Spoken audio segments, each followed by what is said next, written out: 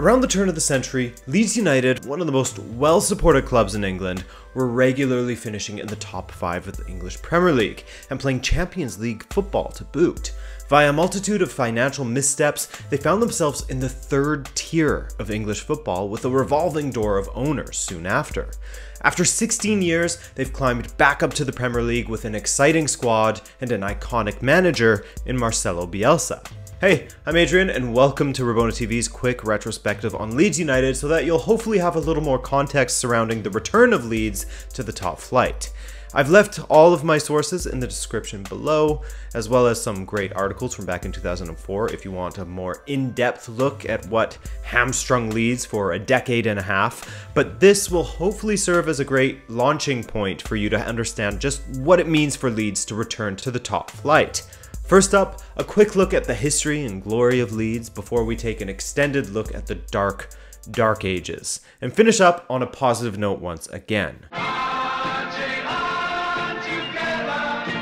After starting out in the second division of English football for the 1920 season, Leeds United bounced back and forth from the second to the first division plenty of times throughout their history. But despite that, they've had a few notable eras at the club, such as the Don Revie era, which saw the legendary player turned manager win two first division trophies, a League Cup, an FA Cup, and two Intercities Fairs Cups, among some others. By the way, the Intercities Fairs Cup wordy name, was a European tournament that was governed by FIFA until it was taken over by UEFA, restructured a bit, and rebranded as the UEFA Cup. It was an early precursor to the current day Europa League in some respects. Leeds were the first English team to win it, and also the last team to ever win it before the rebrand. Following the Revie era, Leeds made it to the 1975 European Cup final, where they lost to Bayern Munich, in a controversial manner. There seemed to be an obvious handball from Franz Beckenbauer that wasn't given, and then Der Kaiser knocked a Leeds attacker to the ground in the area minutes later. Neither incident was deemed worthy of a penalty by the referee, and Bayern went on to win 2 0. Fast forward 15 years, a relegation to the second division and a promotion back up, and Leeds United are back to be a thorn in the side of their rivals Manchester United, the culmination of which being their English First Division triumph in the 1991-92 season, where they finished 4 points clear of their rivals thanks in part to the exploits of future United signing Eric Cantona. That was the last First Division League title for Leeds and the last First Division title before it was rebranded as the Premier League. At the close of the 98-99 season, Leeds United were a top Premier League competitor, finishing in fifth. Despite their manager Graham leaving the club to take charge of Spurs, his assistant David O'Leary took over as a caretaker manager while Leeds looked to find a replacement. They didn't know it at the time, but the next great Leeds manager had already taken the mantle, as O'Leary never finished outside of the top five while he was in charge of the Whites, and promoted plenty of youth products to the first team, many of which went on to be England internationals. Leeds were truly a competitive Premier League side. Unfortunately, given the way the club was run and the risks their chairman had taken, finishing outside of the top three was fatal for the club. For a club like Leeds, finishing in the top 5 in regular European competition should have been something to build upon. It should have been enough of a foundation or a platform to build upon. It never should have broken them, but we'll discuss that in the next section, as their chairman made finishing in 4th and 5th a bad thing somehow. Hard to comprehend. Under O'Leary, Leeds United's top league performance came in the 99-2000 season when they finished third and also made it all the way to the semi-finals of the UEFA Cup. In the following season, the 2000-2001 season, while they finished outside of the Champions League qualification spots in fourth, they also made it all the way to the semi-finals of the Champions League. An incredible achievement, no doubt, and a year later they finished one spot lower in fifth. This was to be O'Leary's final season with the club, and marks a good point to pivot towards explaining the Dark Ages and how they went from Champions League finals hopefuls to nearly ceasing to exist, thanks to their chairman, Peter Ridsdale. Without going into the dizzying details of just how Leeds United ended up in a financial crisis, I've linked to an article from The Guardian back in 2004 that gets into the nitty gritty if you're interested. Here are the basics to give you a, or I mean, perhaps the basics plus added details because I have a hard time just giving a vague description of things. I have a tough time being concise. Chairman Peter Ridsdale saw the potential in Leeds United, not just to become a power in England, but in Europe as well. To some extent, he was right. Given the aforementioned European runs that Leeds had, coupled with their strong academy that was turning out what would be future England internationals, as I said, and the large supporter base, there's great foundations to build upon at Leeds.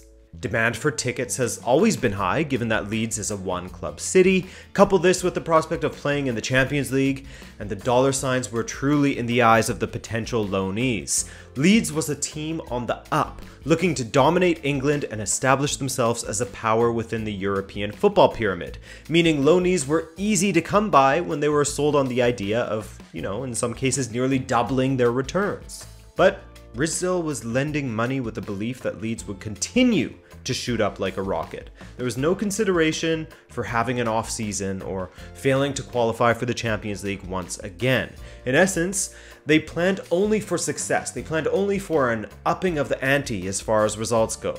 Regular Champions League football with Leeds as a superpower. These plans included the borrowing of 60 million pounds at the beginning of the 2001-02 season in order to help facilitate acquisitions to build up their squad. This 60 million loan was on top of the other debt that Leeds had racked up, as they had an interesting way of brokering transfer deals for players, of course, borrowing money to do so. This was sort of unprecedented at the time. They borrowed more than any other club in England, and they didn't invest that money that they borrowed in things such as their stadium or their academy or their training complexes. They only invested it in short term solutions such as acquiring players. So, how much debt were they dealing with? Here from Brian Cathcart's article in The Guardian from 2004. Since the launch of the acquisition policy, the end of season net debt record in the company's books had risen as follows 9 million pounds in 99, 21 million pounds in 2000, 39 million pounds in 2001, and that last figure was from June, before the 60 million pound loan showed up in the books. Debt costs money, and the more you have, the more it costs. Much of their debt had interest rates attached to them, and they were taken out with the belief that Champions League football and all of the revenue that would bring from broadcast deals and additional turnstile profits would help to pay off these debts, and then some. Over a few years, Leeds had spent tons of borrowed money on some of England's highest wages and on the transfers of players such as Robbie Keane, Robbie Fowler, Seth Johnson, Mark Viduka, Olivier Dacourt, Dominic Matteo, and of course, Rio Ferdinand. Ferdinand was the most expensive of the lots to help reinforce their 2001 Champions League campaign, which, as you'll remember, saw them make it all the way to the semifinals of the competition. However, in that same season, they failed to qualify for the following edition of the Champions League as they finished in third, thus missing out on the money that comes with the Champions League. Only the top three made it into the Champions League back then. One season out of the Champions League shouldn't be fatal for a club, but with the debt that was racking up and the structure of Leeds' loans, two seasons would be fatal for them. Thus, their fifth place finish in the 01 02 season left them on the brink of collapse.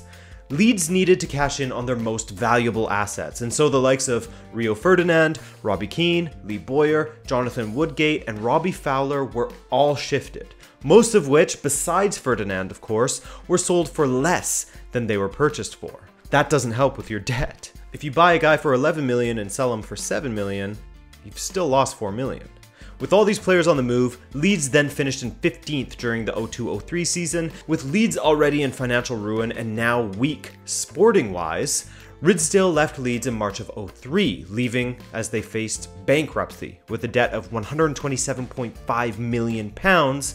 In the words of the incumbent Leeds United chairman, John McKenzie, quote, I inherited a nightmare.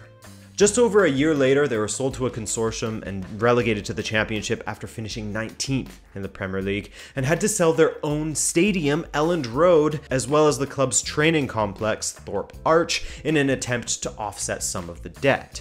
From 2004 to 2018, Leeds United had five different owners and went through 15 different managers, spending three seasons in League One as well. But I feel like we're dwelling on the bad for too long here. We're bringing up bad memories for Leeds fans. So let's move on to happier times. In January of 2017, Italian businessman Andrea Radrizzani bought a 50% stake in Leeds United, and just four months later, he upped his stake, becoming the sole owner and the new chairman of Leeds United in May of 2017. Later, he would sell a 10% stake to the owners of the San Francisco 49ers, the NFL team, and apparently they want to buy more of a share. Radrizzani endeared himself to the club by repurchasing Elland Road two months later, thus clearing Leeds of their 1.7 million pound annual rental of the stadium. In his first full season as chairman of Leeds, it didn't go exactly to plan, as the newly appointed Thomas Christiansen only lasted until February of 2018, and his replacement, Paul Heckingbottom, was sacked on June 1st of the same year.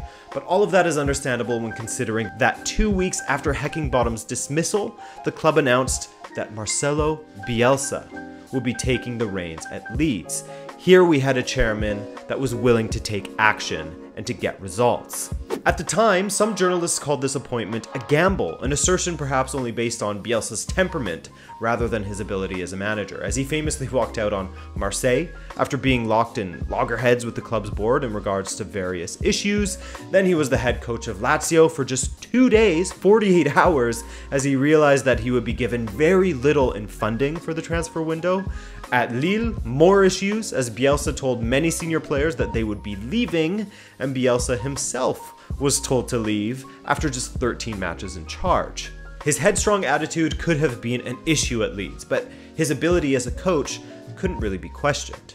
According to The Times, he became the first Leeds United manager to win his first three matches since Jimmy Armfield did so back in 1974.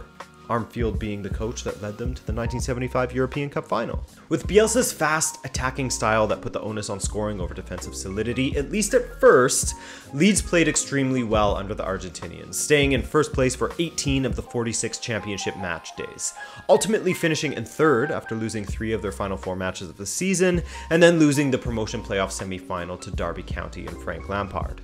Disappointing, but the improvement was night and day from their 13th placed finish from the season before. Prior to his arrival, Leeds were struggling in the championship, only twice finishing in the top 10 since their 2010 promotion. Each time was a 7th place finish, by the way. Other than that, their average position in the championship was about 13th, mid-table obscurity in England's second division. Hard to associate that with a club like Leeds. And so, following the disappointment of failing to achieve promotion via the playoffs, Bielsa ensured that he would get it right in his second season in charge, and did he ever? The biggest improvements came on the defensive side of things, conceding far, far less than the season prior, and yet maintaining their ability to score, thus clinching first with a match to spare. Promotion at last.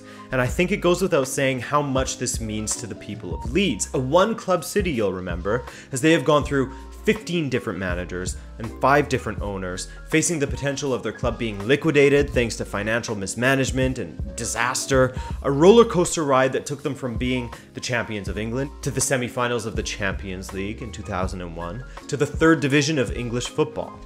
After 16 years, Leeds United are back in the Premier League, bringing with them a more than competent manager and board, a stadium of their own once again that draws 35,000 spectators regularly, and a new sheen to their matches with Manchester United and Sheffield United. It's no wonder Bielsa had a street named after him. And a penguin, actually. But hey, thanks for watching. I hope you enjoyed this video, and if you learned something new and want to find your way back a little easier, then be sure to hit subscribe and join our growing community. Beyond that, I'm Adrian. I thank you once again for watching, and we'll hopefully see you in the next video. Ciao!